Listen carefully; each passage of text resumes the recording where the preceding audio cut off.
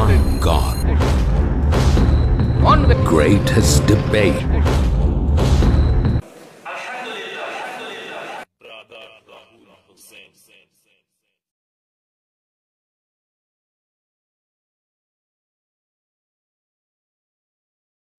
তো ভাই বলুন তো মানুষ যে আমলগুলো তৈরি করে খারাপ মনে করে কেউ তৈরি করে মানুষ তো ভালো মনে করে তৈরি করে মানুষ মনে করে দুই হাত তুলে দোয়া করছি এটা খারাপ কেন হবে? মানুষের চিন্তাধারা আছে এটাই যে দোয়া মানেই হাত তুলতে হবে। হাত না তুললে আর দোয়া হয় না। বা আছে না নাই কথা বলেন? যে দোয়া করলাম হাত তুললাম না কেমন দোয়া? আজীব দোয়া? এটা হচ্ছে করোনা ভাইরাস। এই চিন্তার নাম কি? এই চিন্তাটার নাম হচ্ছে করোনা ভাইরাস। এ নিজেও মরবে সবাইকে নিয়ে মারবে। ও তো নিজে মরবে, বিদাত করে। আর ওর সঙ্গে যতগুলো থাকবে, সবগুলোকে বিদাতি বানিয়ে মানুষকে জাহান নামে নিয়ে যাবে। একে গ্লাস পরে ঘুরে বেড়াতে ওর সঙ্গে। কথা বুঝতে পারছেন? ভাই এই কথাটা মনে রাখবেন, দোয়া মানেই হাত তোলা নাই। দোয়া সাধারণত তিনটে ভাগে বিভক্ত। কয়টা? কথা বলেন। দোয়া তিন ভাবে বিশ্বনবী করেছে। কয় ভাবে? তিন ভাবে। এক কিছু কিছু দোয়া আছে। আপনি একা, নিজেই, নিজের জিহা নড়িয়ে নড়িয়ে দোয়া পড়বেন। দোয়া হয়ে যাবে। হাত তোলার দরকার নেই। ইমাম সাহেবকে ডাকার প্রয়োজন নেই। কি বললাম? কিছু কিছু দোয়া আছে, ব্যক্তি একাই নিজেই জিহ্বা নড়িয়ে নড়িয়ে দোয়া পড়বে, দোয়া হয়ে যাবে। হাত তোলার দরকার নেই, ইমাম সাহেবকে ডাকারও প্রয়োজন নেই। প্রমাণ, ভাই বলুন তা, মসজিদে ঢোকার দোয়া আছে না নাই? হাত তুলে করেন। ইমাম সাহেবকে ডাকেন। ভাই মসজিদ থেকে বের হওয়ার দোয়া আছে না নাই? হাত তুলে করেন। ইমামকে ডাকেন। বাথরুম ঘরে ঢোকার দোয়া আছে না নাই? হাত তুলে করেন। এক কাজ করেন, ইমাম সাহেব মসজিদে ঢুকেছে, ইমাম সাহেব তাড়াতাড়ি বাথরুমের দিকে আসেন। কেন?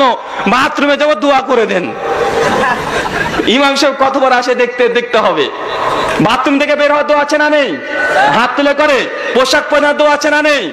হাত তুলে করে। জুতো পরিধান দোয়া আছে না নেই? হাত তুলে করে।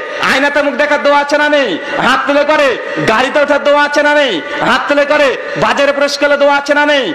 আছে। এরকম হাজারো দোয়া আপনার কথা বলতে পারব। যে সমস্ত মানুষ হানাফি সাফি দেবন্দি, বেরলবি, আহলে হাদিস, যারা আছে, ভাই, সকলেই শুধু মুখ দিয়ে পড়ে কি পড়ে না? কেউ হাত তোলে? জি না। কিন্তু আপনার মধ্যে যে ভুল ধারণাটা আছে, আপনি মনে করছেন, দোয়া মানেই হাত তুলতে হবে। হাত না তুললে দোয়া হয় না। তার জ্বলন্ত প্রমাণ আপনাকে এগুলো দিলাম যে দোয়া মানেই যে হাত তোলা, এই কথা একদম ভিত্তিহীন, বরং অধিকাংশ দোয়াই আছে। দিলে হাত না তুলে জিহা নড়িয়ে নড়িয়ে দোয়া করলে দোয়া হয়ে যায় এটা প্রথম ক্যাটাগরি। দোয়া করার দ্বিতীয় ক্যাটাগরি। কিছু কিছু দোয়া আছে, ব্যক্তি একা, নিজেই দুই হাত তুলে দোয়া করবে। এখানে ইমাম লাগবে না, কি লাগবে না?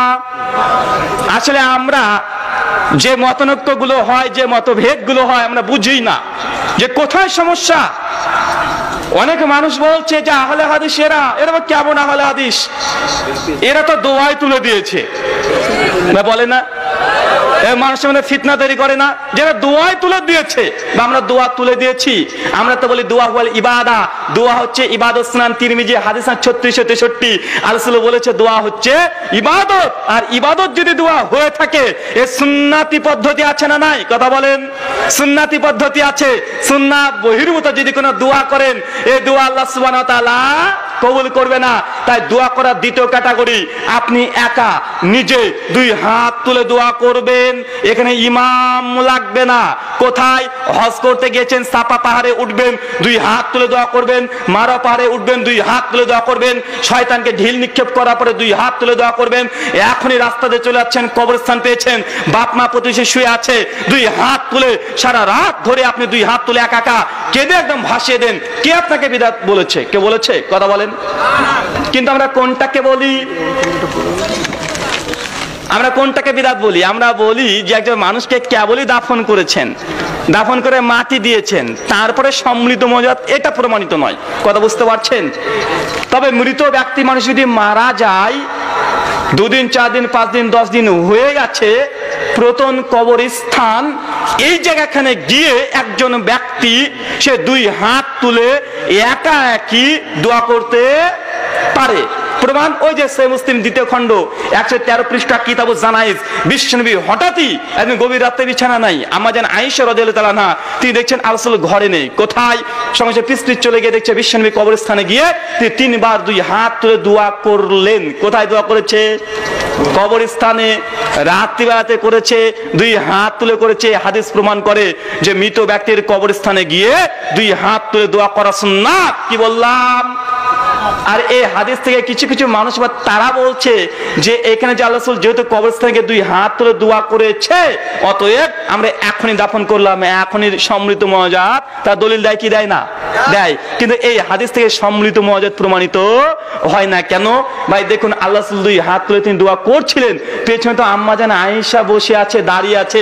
উনি তো এসে বলতে পারতেন আল্লাহ মামিন আল্লাহ মামিন ভাই, বলেছে, কথা বলেন? যদি সমৃদ্ধ মহাজাদ যদি আম্মাদান এসে যদি শরিক হয়ে যেতেন। তাহলে সমৃদ্ধ মহাজাদের দলিল হতো। কিন্তু আমাদের শুধু দেখছে, তিনি হাতও তোলেন নাই, আমিনও বলে নাই। তবে এই হাদিস থেকে অন্তত সমৃদ্ধ মজার দোয়া প্রমাণিত নয়। বলে একজন ব্যক্তি একা একাই তার বাপ মা কবরবাসীর জন্য একা একাই দুই হাত তুলে দোয়া করতে পারে। এটা সুন্নাত, এটা প্রত্যেকটা আহ্লাদেশকে করতে হবে। এ কথাই ঠিক। আবার এই হাদিস থেকে দলিল দেয়, কেবলই দাফন করেছেন। নতুন কবরে দাফন করার পরে সঙ্গে সঙ্গে দুই হাত তুলে দোয়া করে সবাই মিলে এই হাদিস থেকে দলিল দেয়। তবে এই হাদিসে এই দলিল লোকায়িত নেই। ভাই, বলুন তো, আল্লাহ রাসূল যে কবরস্থানে গিয়ে দুই হাত তুলে দোয়া করেছিল, ওটা কি রাত্রেতে কি আল্লাহ রাসূল কেউ মরেছিল, তারপরে দাফন করে দুই হাত তুলে দোয়া করেছিল, না প্রথম কবরস্থান? কথা বলেন। ওটা নতুন কোনো কবরস্থান নয়, তাৎক্ষণিক দাফন করা কোনো কবর নয়। ওটা প্রথম কবরস্থানে গিয়ে বিশ্ব নবী মোহাম্মদ সাল্লাহ সাল্লাম, তিনি দোয়া করেছিলেন, দুই হাত তুলে দোয়া করেছিলেন। আহলে হাদিস তো তারাই, যারা হাদিসের হুবহু, যারা অনুসরণ করে, নিজের মস্তিষ্ক প্রসত বিবেক প্রসত নিজের আবেগ দিয়ে কখনো হাদিস যে বোঝে সে আহলে হাদিস, হতে কোশ্চিন কালো পারে না। কিছু কিছু আহলে হাদিসের বই পড়লে আশ্চর্য হয়ে যায়। যারা অন্যরা আছে, তারা তো আলাদা। তারা বিদাতকে মনে করে ইবাদত, কিন্তু আহলে হাদিস সমাজে এটা থাকে কীভাবে? আর হাদিসকে অপব্যাখ্যা করছে, তাদের মতো এটা কি মেনে নেওয়া যায়? কথা বলেন। এই বগুড়া মাঠ তো সেই মাঠ, যে মাঠে মাইক্রোফোন কেড়ে নিয়ে ঝামেলা হয়েছে হয়েছে কি হয় নাই? কথা বলেন। হয় কীভাবে আশ্চর্য বিষয়? আমি তো আশ্চর্য হয়ে যায় যে আহলে হাদিস, সমাজ যারা আন্দোলন কোরআন আর হাদিসের, তারা হাদিসের যদি অপব্যাখ্যা করে, বা বলেন তো কোরআনের দাওয়াত তাহলে কারা দেবে? তারা যদি এগুলো নিয়ে ঝামেলা মারামারি করে, কথা বলেন। কারা দেবে? আল্লাহ সুবানা তুমি এদেরকে হেদায়ত দান করো। সকলে বলি আল্লাহ আমিন। আমি বলেছি, দোয়া করার তিনটে পদ্ধতি, যেটা আমলে চলে আর এর উল্টো হয়ে গেলে, এটা হয়েছে বিদাত। তিন নম্বর পদ্ধতি, ইমাম সাহেব দুই হাত তুলবে মুক্তাদি পেছনে দুই হাত তুলবে। ইমাম সাহেব দোয়া পড়বে, মুক্তাদি পেছন থেকে আমিন বলবে। এটা কোন সময় করে? এক, ফরজ নামাজের শেষে, দুই, জানাজার শেষে, তিন, বিবাহ মসজিদের শেষে, চার, ঈদগাহের নামাজের শেষে, পাঁচ যে কোনো সভা সমিতি শেষ করার পরে ছয় ইফতারের আগে অথবা পরে। ভাই হয় কি হয় না? কথা বলেন। হয় এই ছয়টা জায়গাতে প্রত্যেকটা জায়গাতে বিশ্বনবী মোহাম্মদ সাল্লাম তিনি দোয়া করেছেন। কি বললাম? কিন্তু এ পদ্ধতি দিয়ে করেনি। কোন পদ্ধতি? ইমাম সাহেব দুই হাত তুলবে মুক্তাদের পেছনে দুই হাত তুলবে। ইমাম সাহেব দোয়া পড়বে মুক্তাদিরা আমিন বলবে। এই পদ্ধতি অবলম্বন করে দোয়া আল্লাহ কখনোই করেননি এই ছয়টা জায়গাতে। তো এই ছয়টা জায়গাতে দোয়া করেছে। কীভাবে করেছে? ওই যে মসজিদে ঢোকার সময় যখন দোয়া আছে, শুধু মুখ নড়িয়ে নড়িয়ে, এই দোয়াটা আছে, হাত তোলা নাই, ইমাম নেই, এইভাবে দোয়া করেছে। কথা বলেন। আবার বোঝেন বা আমরা কি দোয়া করাকে বিদাত বললাম না দোয়া করার পদ্ধতিকে বিদাত বললাম? কিন্তু সমাজে কি একটা মিথ্যাচরণ হচ্ছে না যেটা দোয়াই তুলে দিল? আরে ভাই বলছি যে ফরজ নামাজের পরে দোয়া এতগুলো আছে দোয়া করতে গেলে আপনার কমপক্ষে বিশ মিনিট লাগবে। আটত্রিশ খানা দোয়া আছে। আহলে বাচ্চারা ছোট্ট ছোট বাচ্চারা যতগুলো ফরজ নামাজের পরে দোয়া জানে তাদের একজন আলেমকে ডেকে নিয়েছেন ও অতগুলো দোয়াই মুখস্থ নেই। এখনই নিয়ে আসেন। আহলে প্রত্যেকটা বাচ্চারা বিবাহ মসজিদের শেষে একটা সুন্নাতি দোয়া আছে বিশ্বনবী পড়তেন। বা বলতে আল্লাহ কি কারও বিয়ে পড়ান নাই? কথা বলেন। আল্লাহ তার দোয়া করেন নাই? দোয়া করেছেন, তাহলে দোয়াগুলো কি হাদিসে প্রমাণ নেই? তাও আছে। আলেসের প্রত্যেকটা সন্তান, তারা এই সুন্নাতি দোয়া জানে। তাদের আলেমকে ডেকে না এসে বলে তো আল্লাহ কোন দোয়াটা পড়তো? বিবাহ করানোর পরে হা করে তাকিয়ে থাকবে। এক হাজার মানুষকে ডাকেন, ও নশো জনই পারবে না। আলোচনার পরে প্রশ্নোত্তর পর্ব আছে। আপনারা সবাই ধৈর্য ধরে বসুন। আর যদি কোনো প্রশ্ন করতে চান, লিখিত আকারে সেটা স্টেজে পাঠিয়ে দিন তাই আপনাদের কাছে এটা আমরা শুধুমাত্র অনুরোধ করছি যে একটু বোঝার চেষ্টা করেন। ফিতনা, মতনৈক্য, মতপার্থক্যটা হবে। কিন্তু দর্শকদের উদ্দেশ্যে আমাদের এই কথা যে আমাদের মতনৈক্যর গোড়াতে পৌঁছান, যে কোথা থেকে মতনৈক্য হচ্ছে। আমরা কি কেউ কখনো বলছি, দোয়া করাকে বিদাত? জি না, আমরা হচ্ছে দোয়া করার পদ্ধতি বিদাত। কোনটা? কথা বলেন। পদ্ধতি বিদাত। ভাই, বলেন তো, স্ত্রী সবাসের দোয়া আছে না নাই? আপনার কারা কারা হাত তুলে করেন, একটু হাত তুলেন তো দেখি। কারা কারা করেন ভাই? কিরে ভাই বুঝতে পারেন কথা? ভাই, দেখে নিয়েছে আপনাকে। আপনি স্ত্রী সহজের সময় দুই হাত দোয়া করেন। তাড়াতাড়ি হাত নামান। আমাদের মধ্যে তার জন্য বলছে, করোনা ভাইরাস আছে। এই মাথা থেকে করোনা ভাইরাস বের করতে হবে। আমরা মনে করি দোয়া মানে হাত তোলা। আরে ভাই, দোয়া মানে হাত তোলা নয়। দোয়া করার অনেকগুলো পদ্ধতি মানে তিনটে পদ্ধতি বললাম। এক, যে ব্যক্তি একা জিভ দিয়ে করলে হয়ে যায়। ব্যক্তি নিজেরও হাত তোলা দরকার। নেই মানে কোনো ব্যক্তি পায়খানা করে ঢুকছে। ঢোকার সময় বলছে দোয়া করছে হাত তুলে। কি বলবেন বলেন তোকে? কি রে পাগল না কি রে ধুর, তুই হাত নামা। এবং দোয়া করে, এমন কেউ যদি প্রতিবাদ করে তোমরা বলুন তো, ও কি দোয়া করতে নিষিদ্ধ করল? কথা বলেন। জি না ওর পদ্ধতিকে বিদাত বলেছে। কোনটাকে? পদ্ধতিকে। মসজিদে ঢোকার সময় কেউ যদি দুই হাত দোয়া করে, কেউ যদি বলে দোয়া প্রমাণিত নয়। তোমরা বলুন তো, কোনটাকে প্রমাণিত নয় বলো? দোয়া করাকে না দোয়া করার পদ্ধতিকে? দোয়া করার পদ্ধতিতে। তার জন্য আমরা আহলে সমাজকে বলে দিই, যারা দোয়া নিয়ে মতনৈক্য মত পার্থক্য করছে, যারা অন্য সোসাইটি আছে, তাদেরকে বলে দিই, ভাই আপনাদের সঙ্গে আমাদের কোনো মতনৈক্য নেই। আমরা বলি ফরজ নামাজ পড়ে দোয়া আছে আটত্রিশ খানা দোয়া আছে, জানাজা পরে বিশ্বনবী দোয়া করেছে, এমনকি বিবাহ শেষে পরে দোয়া করেছে, ইফতারের আগে পরে দোয়া করেছে, সভা সমিতির পরে দোয়াগুলো বিশ্বনবী করেছে, তবে এই পদ্ধতিতে করে নাই। এই জন্য আমরা বলেছি পদ্ধতিকে বিদাত। দোয়া করাকে কেউ বিদাত বলে? নাই। আল্লাহ সুবহানাহু ওয়া তাআলা তুমি আমাদের কথাগুলো ওইসব মানুষকে বোঝার তৌফিক দান করো। যা এটা নিয়ে সমাজে ফিতনা তৈরি করছে। চলো পড়ি আল্লাহুম্মা আমিন। মনে রাখবেন, ইবাদত বেশি বেশি করলে যে আল্লাহ কবুল করে নেয় না, তার জ্বলন্ত প্রমাণ ওই যে সাহাবি বলছে আল্লাহ রসুল, আমি সারা রাত্রি ধরে তাহার যদি নামাজ পড়ব। আর আল্লাহ বলছে, কেউ যদি সারা রাত তাহার যদি নামাজ পড়ে, ফালাইসা সে আমার উন্মতের অন্তর্ভুক্ত নয়। ভাই, কেন বলল আল্লাহ এই কথা? নামাজ তো ভালো কাজ। বেশি করলে যদি আল্লাহ কবুল করে নাই তো নামাজ তো তাহাজ্জুদে নামাজ পড়বে সারা রাত ধরে। আসল কেন কবুল করবে না বলছেন? বরং বলছে প্রতিবাদ করে, সে আমার উম্মত হিসেবে মৃত্যুবরণ করবে না। যদি সারা রাত তাহাজ্জুদ নামাজ পড়ে, মৃত্যুবরণ করে, সে আমার উন্মতি নয়। কিন্তু একটা বই আছে, নাম ফাজালে আমল। ফাজালের সালাত অধ্যায় আটত্রিশ নম্বর পৃষ্ঠা লিখেছে, ইমাম আবু হানিফা রাহিমাহুল্লাহ, তিনি নাকি এক পায়ে দাঁড়িয়ে তিন পারা কোরআন খতম করতেন। বা আছে না নাই কথা বলেন? ইমাম আবু হানিফা রাহিমাহুল্লাহ এশার নামাজে অজু করে ঢুকতেন আর ফজর বন্ধ পড়তেন বা আছে না নাই কথা বলেন? ভাই, মানুষ যদি ঘুমিয়ে যায়, অজু থাকে, কথা বলেন। মানুষ যদি ঘুমিয়ে যায়, তো ভাই বলুন তো তার অজু থাকে? জি না, কেউ যদি এশার নামাজে অজু করে ঢুকে এশার নামাজ পড়ে, আর ওই অজুতে যদি ফজরের নামাজও পড়ে, তো ভাই বলুন তো মাঝখানে তার ঘুম আসবে? আর আল্লাহ বলছে যে আমার এই সুন্নাতের পরিপন্থী আমল করবে, সে আমার দলভুক্ত নয়। এক শ্রেণির মানুষটা ইমাম আবন ইব্রাহিম আল্লাহর মর্যাদা বৃদ্ধি করতে গিয়ে ইমাম আবন ইব্রাহিম রহমুল্লাহকে সুন্নাতের বিরোধী প্রমাণ করেছে কি করে নাই? কথা বলেন। করেছে। মানুষ ইমাম আবন ইব্রাহিম রহমুল্লাহকে মনে করছে যে তার মর্যাদা, তার ইবাদত, তার আমল আমরা উঁচু স্থানে নিয়ে যাচ্ছি। কিন্তু এগুলো ইমাম আবন ইব্রাহিমের বিরুদ্ধে সুন্নাত বিরোধী। ভাই, একটা মতবাদ বোঝানোর চেষ্টা করছে কি করছে না? করছে। তাই মনে রাখবেন ইবাদত বেশি করলে যে আল্লাহ কবুল করে। এই হাদিস থেকে খণ্ডন হয় কি হয় না? হয়। আলসুল এই জন্য বলছে যে, তোমরা সারা রাত তাহাজ্জুদ নামাজ পড়বা। এটা ইসলাম নয়। বরং আল্লাহ বিশ্বনবীকে বলেছে, আল্লাহ রসুল, আপনি রাতের কিছু অংশ তাহাজ্জুদ পড়েন। আর কিছু অংশ ঘুমান। ভাই, ঘুমানো ইবাদত কি ইবাদত নয়? কথা বলেন।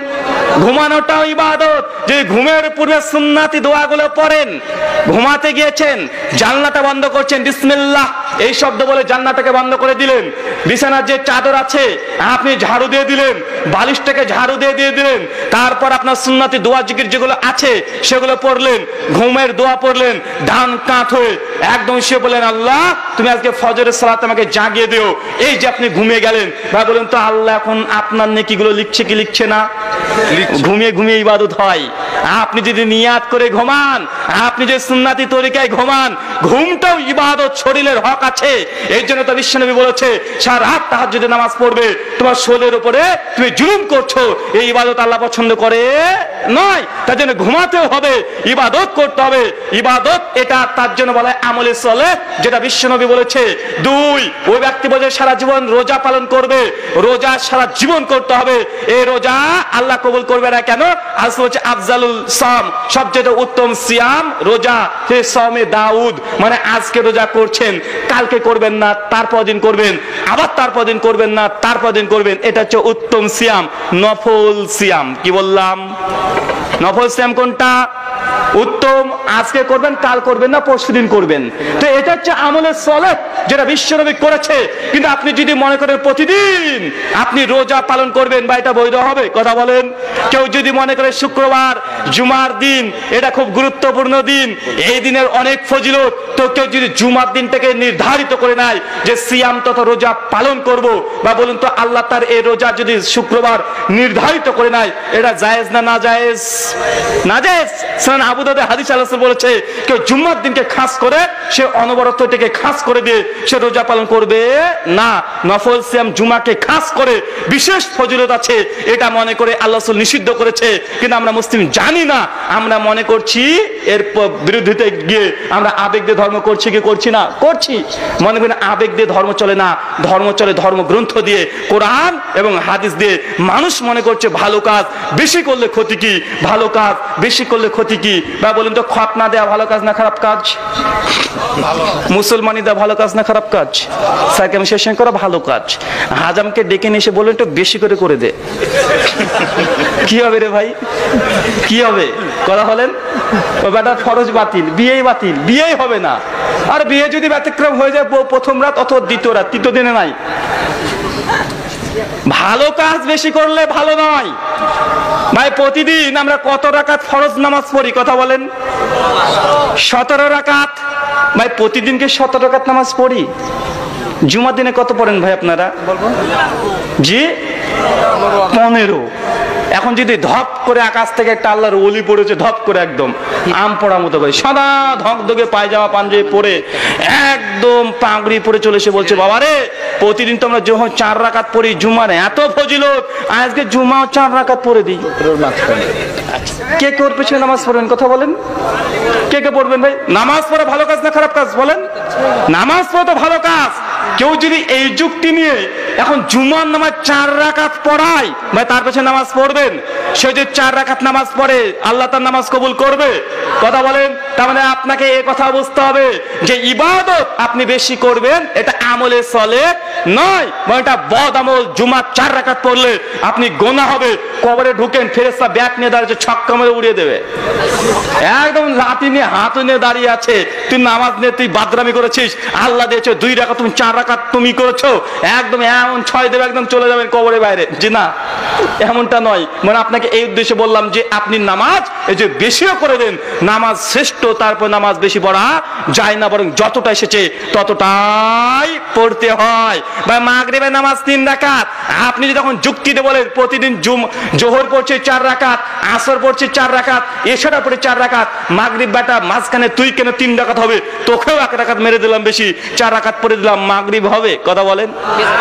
কেউ যদি মনে করে যে আসরের নামাজ চার রাকাত, তিন রাকাত নামাজ পড়ে সালাম ফেরে দিয়ে চলে যাচ্ছে বা বলুন তো এই ব্যক্তির নামাজ হবে? এই তিন ডাকাত নামাজ পড়ে তিন ডাকাতের নেকি পাবে? জি না, বরং গোনা হবে কি হবে না, যে ইচ্ছাকৃত করে, কথা বলেন। অবশ্যই হবে মানে ইবাদত, এটা আল্লাহর পক্ষ থেকে যতটুক এসেছে, ততটুকুই করতে হয়। বাড়ানো যায় না কমানো যায় না। ইবাদত করতে হলে, আমলে চলে করতে হলে তিনটে জিনিস লাগে। কয়টা? কথা বলেন। এক পরিমাপ, কি বললাম? কি পরিমাপ করবেন? যেমন একটু আগে বললাম, জুম্মা দুই রাকাত তো দুই রাকাত, জোহর চার রাকাত তো চার রাকাত, মাগরীব তিন রাকাত তো তিন রাকাত, এক রাকাত কমালেও ইবাদত হবে না, এক রাকাত বাড়ালেও ইবাদত হবে না, এটা পরিমাপ। কি পরিমাপ করবেন? দুই, সময় টাইম কি বললাম? টাইমের উপরে নির্ভর করে। কেউ যদি বলে, নামাজ পড়া তো ভালো কাজ ভালো কাজ, শুভ কাজে দেরি নেই। চলো আজকে আমরা এই মজমাস শেষ করে দে ফজরের নামাজটা এখনই জামাত সহ করে আজান দিয়ে পড়ে নিই। হবে? কেন? সময় আসেনি। কি আসে নাই? সময় আসে না এই জন্য ইবাদত হবে না। ভাই, বলেন তো, কোরবানি দেওয়া ভালো কাজ না খারাপ কাজ? ভালো কাজ। কেউ যদি মনে করে যা কালকে একটা বড় দেখে গরু জবাই করে, একদম মানুষকে ভাগ করে দিয়ে দিল। বা বন্ধু তার কোরবানি আল্লাহ কবুল করবে? করবে না। কেন? কেন এখন সময় আসে নাই। কেউ যদি মনে করে, কালকে ফিতরা আদায় করে নিব, বা তার ফিতরা হবে? হবে না। কেউ যদি মনে করে, কালকে টাকা খরচ করে হজ করে চলে আসব, বা তার হজ হবে? যে হবে না কেন? সময় আসে নাই। সময় যদি না আসে যত ইবাদত করেন, সেটা আমলে চলে তোরা নেক আমল নয়। এই আমল আপনাকে জাহান নামে যেতে হবে। এই আমল আপনাকে জান্নাত নিয়ে যাবে না। আরেকটা ইবাদতের একটা মূল উদ্দেশ্য যে স্থান, কি বললাম? স্থান স্থান নির্বাচন করতে হবে। আপনার বাংলাদেশের মানুষ অনেক ধনী, বগুড়ার মানুষ আরও বড় ধনী, এখানে দই নাকি বিখ্যাত, যদি আপনারা দেড়শোতে মানে যদি এক কেজি করেন, দেড়শো কম দেন, আমি দেখেছি। বিক্রি করছে দোকানদার এক কিলো বলে, ওখানে আছে সাড়ে আটশো গ্রাম। বাঁচে না ভাই? ফেসবুকে দেখছি যে কোন এক অফিসার গিয়েছে, দোকানে গিয়ে বলছে, তোর দই কত আছে? তা এক কিলো। দাম কত? একশো ষাট টাকা। ওদের ঠিক আছে, তুই ভাঁড়ে যা দই আছে, তো একটা কাগজে লে। একটা কাগজে দেখছ সাড়ে আটশো গ্রাম। এই যে দেড়শো গ্রাম কম দিয়েছে বেটা। বাবুন তো এর ইবাদত আল্লাহ কবুল করবে? এরও খবর আছে। যে দেড়শো গ্রাম করে কম দিচ্ছে, মানুষকে ধোকা দিচ্ছে, প্রতারণা দিচ্ছে, কিয়ামতের মাঠে আল্লাহ সুবাহ তাআলা তার হিসাব নেবে। সুনান তিরমিজি, হাদিস দু হাজার চারশো সত্তর, আল্লাহ বলেছে, কিয়ামতের মাঠে প্রত্যেকটা আদম সন্তানকে আল্লাহ পাঁচটা প্রশ্ন না করা পর্যন্ত এক ধাপ এগোতে দিবে না, এক তার মাল প্রসঙ্গে মানে টাকা কোন পথে রোজগার করছ আর কোন পথে ব্যয় করছ, এই দুটো হিসেব আল্লাহকে দিতে হবে। এক, টাকা রোজগার মানে ইনকাম সোর্স মানে টাকা যে আপনি উপার্জন করছেন, এটা যদি হালাল না হয়, তার ইবাদত কোনো কবুল হবে না। এই যে দেড়শো গ্রাম করে কম দিয়েছ, এই দেড়শো গ্রাম করে কম দেওয়ার জন্য কিয়ামতের মাঠে তাকে জব দিতে করতে হবে হবে। এবং কোন এক কাবিরা যে দাড়ি বাটকাতে কম দেশ বান ছাব্বিশ থেকে উনত্রিশ নম্বর আয়াত পড়বেন। সোহেব আলাইসালামের যুগে এই দাড়ি বাটকাতে কম দেওয়ার জন্যই আল্লাহ তাকে ধ্বংস করে দিয়েছে। আমাদের সমাজে আছে না নাই? কথা বলেন। আছে? ভাই দেখেন, সেই পুরাতন জাহেলিয়াত পুরাতন প্রতারণা এখনও আধুনিক সমাজে আছে না নাই? আছে। মনে ইবাদত করার জন্য স্থান, জরুরাত। কেউ যদি মনে করে সোনা দিয়ে আমরা একটা কাবা তৈরি করব এখানে। তবে সাতবার না সাতশো বার আমরা ঘুরবো। তাহলে ভাই তার হজ হবে? কথা বলেন। হবে না কেন? ওই মক্কাতে যেতে হবে। ইবাদত করতে হলে এক পরিমাপ কতটা করবেন? দুই কোন স্থানে করবেন? তিন কোন সময় করবেন? এই তিনটে জিনিস যদি না থাকে, যতই ভালো ইবাদত হোক না কেন, এই ইবাদত আপনাকে জান্নাতে নিয়ে যাবে না। বরং এই ইবাদত আপনাকে জাহান নামে নিয়ে যাবে। পবিত্র কোরআন সুরাই গাছিয়া সূরা নম্বর 88 আয়াত নম্বর 2 3 4 আল্লাহ তাআলা তিনি বলছেন, আমিলাতুন নাসিবা, এক শ্রেণির মানুষ আছে যারা ইবাদত করে করে এত ইবাদত করেছে, ইবাদত করে তারা ক্লান্ত হয়ে গেছে। চিন্তা করেছেন? ইবাদত করে ক্লান্ত হয়ে গেছে। বা বলুন তো আমরা ইবাদত করে ক্লান্ত হই, কথা বলেন। কবে আপনি ইবাদত করে ক্লান্ত হয়েছেন? ইবাদত করে তো আমরা ক্লান্ত হই না। বরং ইমাম সাহেব যদি নামাজ পড়ে ফাতিহা পড়ে রহমানটা ধরেছে। রহমান পড়তে গিয়ে একটু লেট হয়ে গেছে। পেছনে দিয়ে কি করে জানেন? কেবল সুরা রহমান তো অনেক বড় সুরা। ইমাম সাহেব যদি একটু কিরাত থেকে লম্বা করে দেয়, পেছনে মুখ দিয়ে দেখে নেয় করবে। মানে উনি কি বুঝাচ্ছে বলেন তো? এই ইমাম সাহেব, তাড়াতাড়ি নামাজ শেষ করেন, দোকান খুলতে হবে। মানে বলে না কেন, নামাজ আসে এই জন্য। মানে একটু যদি নামাজটা লম্বা হয়ে যায় বা বলতো, মুক্তাদের পেছন থেকে খ্যাকমুক করে কি করে না করে? তো এই ব্যক্তির কথা তো আল্লাহ বলছেন, আল্লাহ হচ্ছে আমি এত নাসিবা, ইবাদত করে করে ক্লান্ত হয়ে গেছে, এত ইবাদত করেছে। আল্লাহ সুমাত তারপরে বলছে, তাসলা নারান হামিয়া। আর আমি আল্লাহ তাদেরকে ধরে জাহান নামে নিক্ষেপ করব। বা বলুন তো জাহান নামে কারা যাচ্ছে কথা বলেন। ইবাদত করে তার মানে কি আমলে সলে করে যাবে জাহান নামে? জি না আমলে সলে করলে তো জান্নাতে যায়। তার মানে এমন কিছু সমাজে আমল আছে যে আমল করে আল্লাহ নিজে বলছে তাকে জাহান নামে দেবে। মানে যে আমল বিশ্ব নবী করে নাই এই ইবাদত আমলে চলে নয় এই ইবাদত করলেই মানুষ জাহান নামে যাবে। তার জ্বলন্ত প্রমাণ মিসকাত আল বাসাবি কিতাবুল ইমান হাদিস নাম্বার দুইশো পাঁচ বিশ্বনবী বলছেন কিয়ামতের মাঠে তিন শ্রেণি মানুষকে আগে তোলা হবে, তার মধ্যে এক শ্রেণির মানুষ যে দানবীর, আল্লাহ কিয়ামতের মাঠে জিজ্ঞাসা করবে, তোমাকে অজস্র টাকা পয়সা ধন সম্পত্তি দিয়েছিলাম, তুমি কি করেছ? চট করে দাঁড়িয়ে বলো আল্লাহ তুমি আমাকে যেমন ধন সম্পত্তি দিয়েছ, আল্লাহ আমিও এমন কোন জায়গা নেই, এমন কোন স্থান নেই যেখানে আমি মানুষকে দান করি নাই। দান করতে করতে আমার সম্পত্তি শেষ করে দিয়েছি। আর আল্লাহ বলবে আরে তুই মিথ্যা কথা বলছিস। তুই আমাকে খুশি করার জন্য দান করিস নাই। দান তো করেছিলি, মানুষ থেকে দানবীর বলবে। এটা শোনার জন্য মানুষ থেকে দানবীর দুনিয়াতে বলছে কেমতের মাঠে তোর জন্য কিছু আর নেই। এই কথা বলে ফেরেস্তা গেলে ফেরেস্তা তুমি কোথায় জাহান নামে নিক্ষেপ করো। বা কিন্তু জাহান নামে কাকে ফেলা হচ্ছে। সুদখোরকে ঘুষখোরকে জিনা দান করেছে। সেই বুখাইতে আল্লাহ বলছে, সাদকাতু বুরহান। দান হচ্ছে দলিল। কোন ব্যক্তি দান করে বিশ্বনবী বলছেন, ওই ব্যক্তিকে কবর আজাব যখন দিতে আসবে, কবর আজাব চাপতে আসে, আর যে ব্যক্তি দান করেছে, দানটা ঢালের মতো হয়ে একদম কবর আজাবকে একদম বাধা দিয়ে দেয়। মানে দান হচ্ছে এমন একটি ইবাদত, যে ইবাদত করলেই আপনাকে কবর আজাব থেকে বাঁচার একটা আশা আছে। দান করলে সে বুখারি ছশো ষাট নম্বর হাদিস, বিশ্বনবী বলছেন, কিয়ামতের মাঠে আল্লাহ তার নিচ্ছার নিচে সাত শ্রেণি মানুষকে আল্লাহ ছায়া দান করবে। তার মধ্যে এক শ্রেণি মানুষ ওই ব্যক্তি যে ডান হাত দিয়ে দান করেছিল, বাম হাত টের পায় নাই। এই ব্যক্তিকে আল্লাহ ছায়া দেয়। চিন্তা করে দেখেন আল্লাহর ছায়া পাওয়া যায় কোন আমল করলে? কথা বলেন। আল্লাহর ছায়া। আমরা বলি আল্লাহর আর্শের ছায়া। এর মধ্যে সঠিক নয়। আবার আপনি হাদিসটা ভালো করে পড়েন, ওটা আল্লাহর আরশের কোনো কথাই নেই, ওটা আল্লাহর ছায়া, আল্লাহ নিজের ছায়া দেবে কিয়ামতের মাঠে। সে বুখারি ছশো ষাট নম্বর হাদিস, এই ব্যক্তিকে মধ্যে এক শ্রেণির মানুষ যে দান করেছে, দান করলে আল্লাহর আর্শ নয়, আল্লাহর ছায়া স্বয়ং পাওয়া যায়। দান করলে কবর আজাব থেকে বাঁচা যায়। দান হচ্ছে দলিল। আল্লাহ এই কথা বললেন। আবার এই মুখ আবার বলছে, দান করে একজন ব্যক্তির জাহান্নামী। তাহলে সব দান কবুলযোগ্য নয়। সব আমল আমলের স্থলে নয়। সব আমল করলে জান্নাতে যাওয়া যায় না। বরং অজস্র অনেক আমল আছে। মানুষ জাহান নামে যাবে। একটা প্রমাণ নেবেন? একটা প্রমাণ নেবেন?